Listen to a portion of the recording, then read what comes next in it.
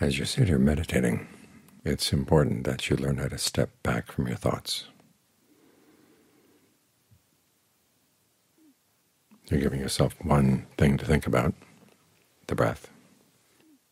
And then you have to watch to see how well you're doing that. And if any other thought comes up, you have to be careful not to go into it.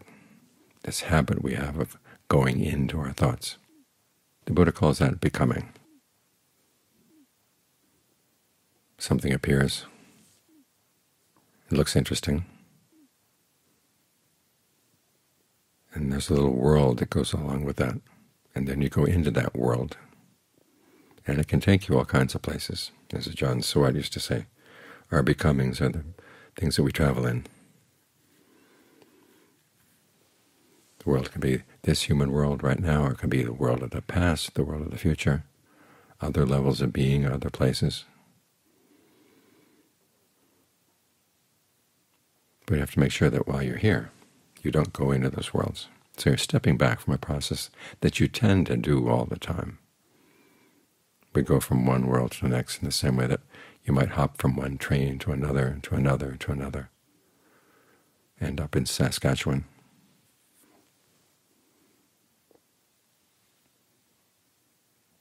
I wonder how you got there. But here you're trying to keep coming back, coming back and developing this ability to step out of your worlds is going to be important. One, to keep, keep you with the breath so you don't get involved in other worlds. And then ultimately, as you establish this world, you here with the breath. As it gets more comfortable, your sense of the body gets more expansive. The breath calms down. Sometimes you can even go into formless states you're right here, but your sense of the body begins to dissolve. The boundary between the outside and the inside dissolves away. It's as if you just have a mist here, and then there's spaces between the mist, droplets. But whatever the state of concentration, eventually you're going to have to step back from the concentration too to start observing it. So it's good that you have this ability to step back to observe thought processes simply as thought processes and not get involved in the worlds. The Buddha said this is how you get past the process of becoming. All the cravings, he said, that lead to suffering are the ones that lead to becoming. And that includes not only craving for sensuality and craving for becoming, even craving for non-becoming. In other words, you have a state of becoming and you want to see it destroyed and that sense of you can gather around that desire for it to be destroyed, and that becomes a source of a new becoming too. So what are you going to do? You don't think about destroying any becomings you have. You think more about looking at the process. How does a becoming form? Even before there's a sense of I or me doing this in a particular world, there will be events in the mind. When we talk about them, they seem abstract because we're so used to talking in terms of becoming. But it's really pretty simple. There's just events in the mind. And you can learn how to observe them from very early on.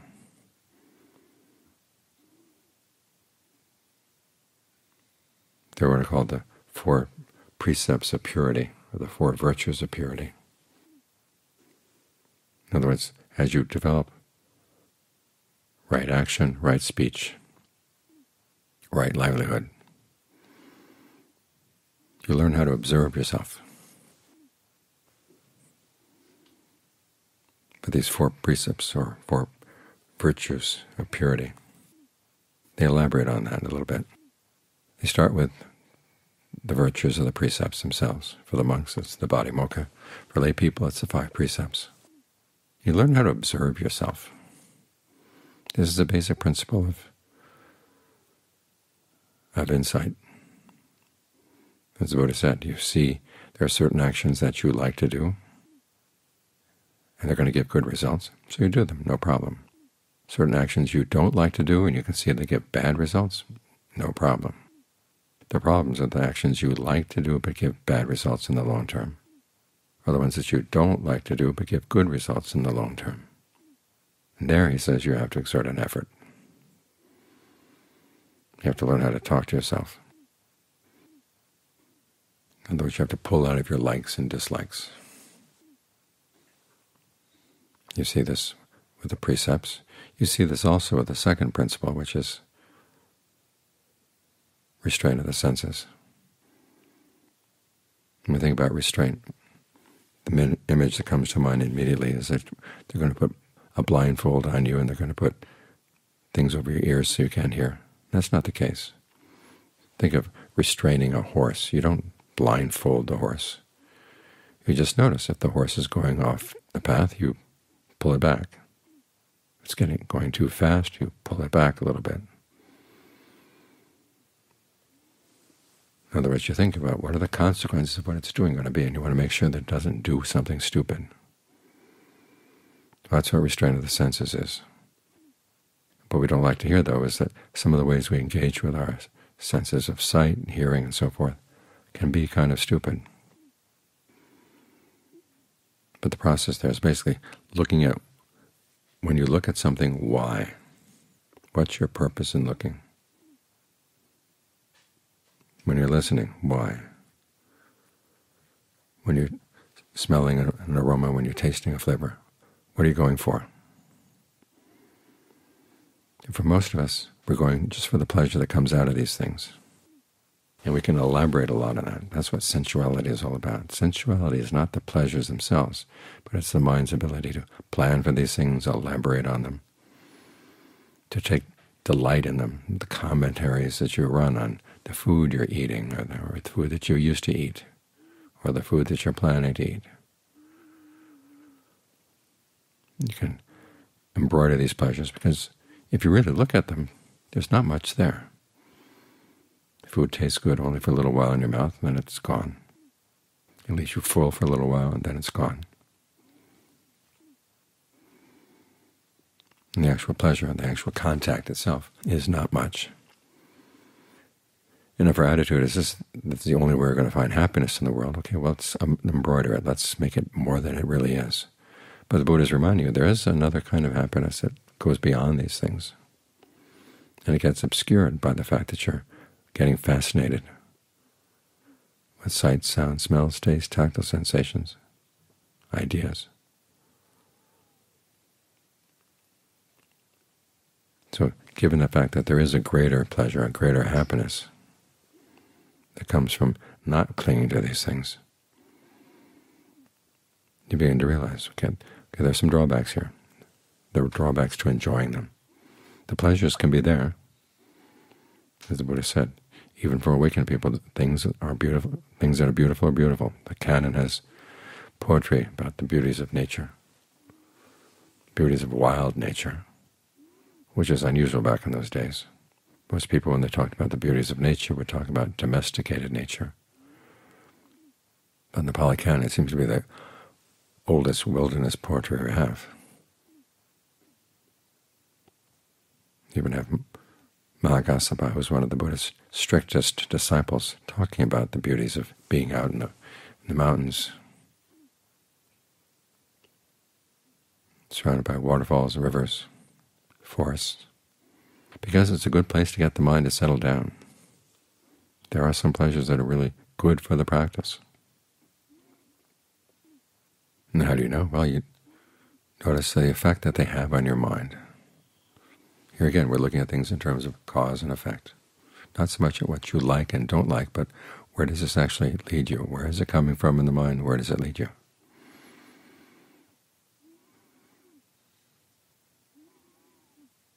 Same with the third principle, which is purity of livelihood. When you're making your livelihood, what impact does it have on your mind?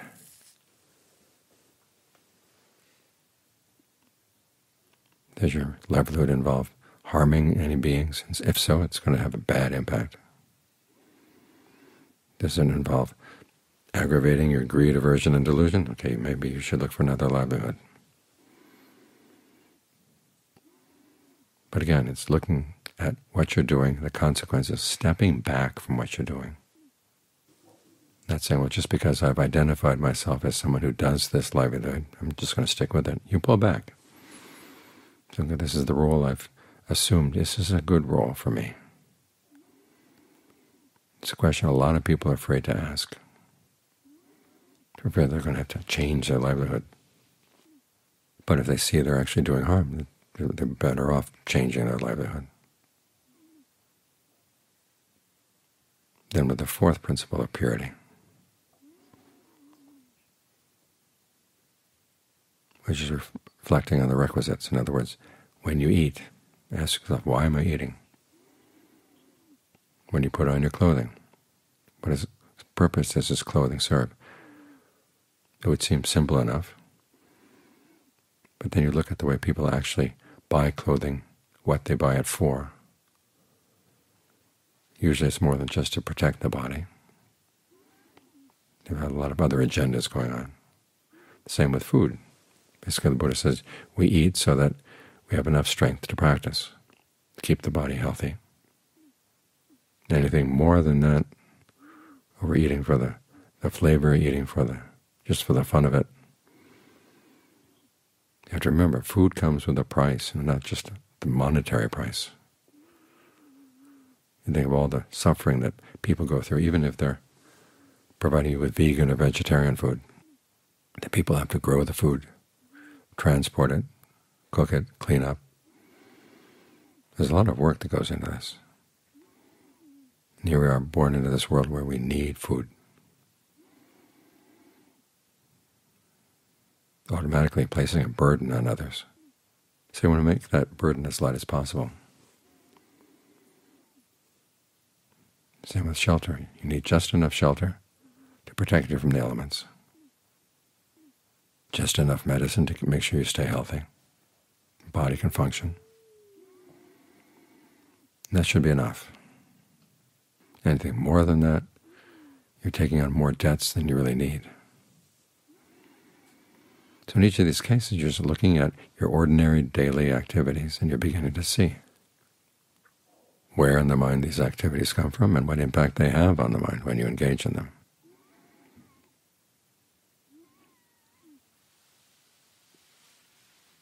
that ability to step back is going to see you well, not only through concentration practice, but also in gaining insight. Remember the Buddha said he got onto the path by dividing his thoughts into two, two types. And it wasn't a question of whether he liked them or not. It was a question of where they came from in the mind, what mental attitude they came from, and also where they would lead, what kind of activities. And it would lead to activities that would harm themselves or harm other people, you'd have to say no. So it basically came down with the principles of right resolve. Resolve on renunciation, which is basically not feeding off of thoughts of sensuality, non-ill will, and harmlessness. In other words, goodwill, compassion. Those should be his motive forces as he acted. That's what he decided. There's another passage where he talks about how he got started on the path, and this is a case where he realizes he needs to get the mind into concentration. And it's going to involve putting aside sensuality again, thoughts of, that are fascinated with the pleasures of sight, sound, smells, tastes, tactile sensations. And as he said, his heart didn't leap up at the idea, but he stopped to consider if he could get past that fascination, his mind could settle down be a great sense of peace that would come from that sense of pleasure and even rapture that would come. Pleasure and rapture that were totally blameless.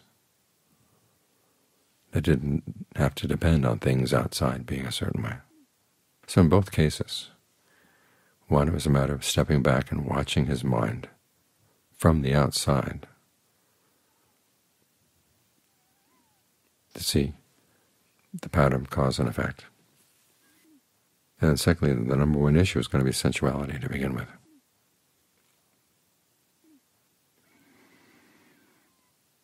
Because he was able to step back that he was able to get over the mind's resistance to settling down in something that had no involvement with sensuality at all, but would give a sense of well-being.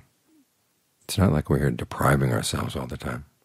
The Jains used to accuse the Buddhist monks of being sen sensualists because they were enjoying the, the pleasure of jhana.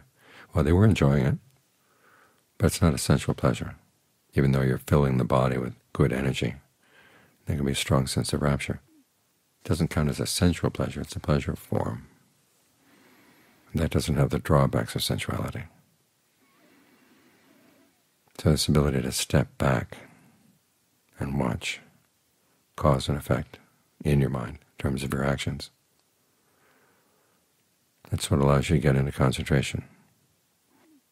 The same with the discernment. You can step back from your concentration and begin to see the things that go into making it up. This is where you get into dependent co-arising. We look at the list and it seems awfully abstract, but it's actually something very near to what's going on right in our present awareness. You see this clearly when you're looking at your concentration. First factor after ignorance is fabrication. Bodily fabrication, which is the in and out breath. Verbal fabrication, directed thought and evaluation, how you're talking to yourself. Mental fabrication, feelings and perceptions. Feelings are feeling tones, pleasure, pain, neither pleasure nor pain. Perceptions are the images you hold in mind. You've got these things right here as you're meditating. You're focused on the breath. You're talking to yourself about the breath. You have images that you hold in mind about how the breath flows through the body. And of course, they're the feeling tones. In fact, the feeling tones are how the states of jhana are defined.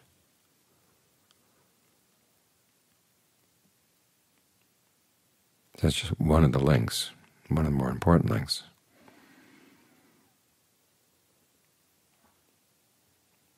But you learn how to see your own mind just in terms of cause and effect, and you realize that thoughts can come into the mind, and you don't have to build a sense of you around them.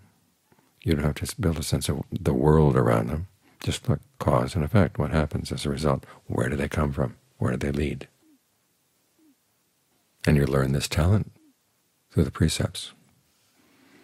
Or even further back, you learn this talent as you begin to observe yourself as you were giving a gift and ask the question, what kind of gift can I give that gives rise to the greatest sense of well-being? You began to notice there were certain attitudes you would bring to a gift that were better than others. Your choice of a gift, your choice of who to give the gift to, how you talked about it to yourself beforehand, during, after. We're basically here to observe ourselves in action. And this is a principle that applies all the way through.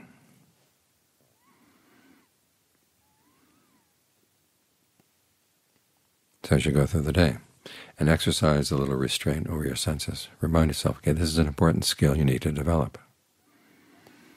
The Buddha is not trying to be a killjoy and tell you not to enjoy the pleasures of the senses.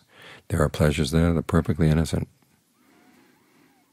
that don't have a bad impact on the mind at all. It's the ones where you constantly talk to yourself about them. Those are the ones you've got to watch out for. And as you're exercising restraint over the senses, this is where it's also good to have a good solid basis with the breath.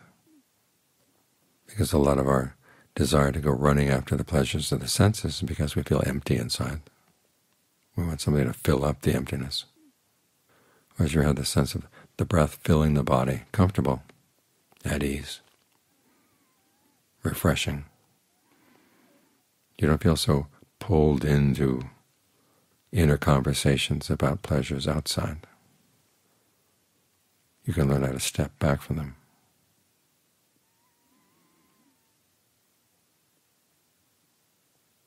So largely it's a matter of where you're going to look for your happiness. And is basically saying, because there is this higher happiness, look in the Third Noble Truth. If you let go of your passion, you let go of your craving, he said it leads to the ultimate happiness. So there's that ultimate happiness that's promised. If we didn't have that promise, you'd have to say, well, whatever pleasures I can get, I'll just go for them because that's all there is. But that's not all there is. That's what the message of the Four Noble Truths is all about. There is an ultimate happiness.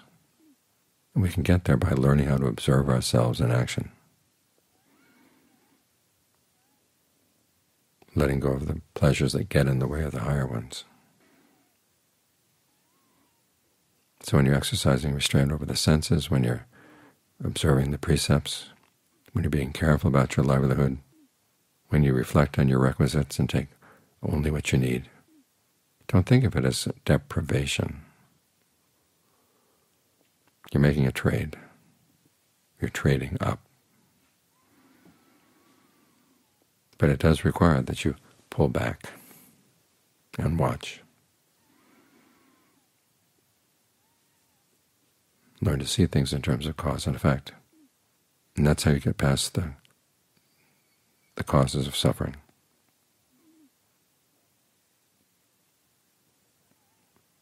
And the mind can open up to something more than you can imagine.